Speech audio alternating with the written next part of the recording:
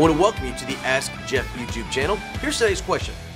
I think about Proverbs 22 6 often in my parenting, but I also know of many adults who abandon their Christian roots and quote, deconstruct. What's your advice for raising children who will stay true to the faith? Well, Proverbs 22 6 is one of the most famous verses in the Bible and at times one of the most misapplied. It says that if we raise a child in the ways of the Lord, when he is old, he shall not depart from it. Now, let me remind each and every one of us that this book in the Bible, in the middle of the Bible, is called Proverbs, okay? It's not titled Guarantees. In other words, a proverb is a generally held belief to typically bear truth. Allow me to explain. The Bible says in Hebrews 9:27 that all men must die and face the judgment. However, there are some outliers. Enoch did not die a physical death.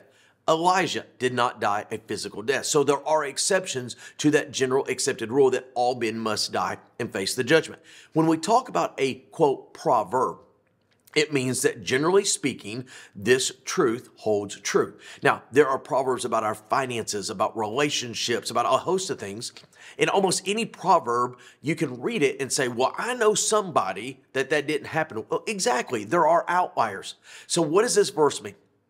It basically establishes the fact that as a believer in Jesus Christ and a parent of a child, we're to raise them in the fear and admonition of the Lord. We're to raise them with the foundations and the grounding of the faith in Scripture. But allow me to give you the illustration that I give my own children.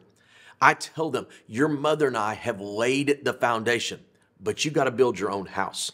And I think too many parents today take the blame for their children's misguided decisions. And at the same time, I think there's too many parents that take the credit for their children's well meaning spiritual success. I have a friend of mine who's a local pastor not in this community, but a local church pastor who was in a home of debauchery and drunkenness. And he became a believer in Jesus Christ and he's a preacher of the gospel. And you would never say, oh, his parents get credit for that. At the same time, if you are raising your children in the fear and the admonition of the Lord, then you've laid the foundation. And if they make the decision to go contrary to, if they make the decision to rebel against God, I don't think as a parent that's on you if you laid the foundation. Now, what does this proverb say? When they are old. I cannot tell you how many times I've heard this testimony from people. I grew up in a Christian home. I got saved at age eight, young age went to college, strayed from the Lord for a while, and then returned to the vitality of by faith. Essentially, what Proverbs 22 6 is saying is we as parents must lay a biblical, gospel centered foundation for our children. Ultimately, it is their faith, not ours, but generally held, they will at one point return. The problem is, as a parent, it's usually not on our timing. That being said, great question. If you have one, send it to AskJeff.net. Maybe your question will be tomorrow's.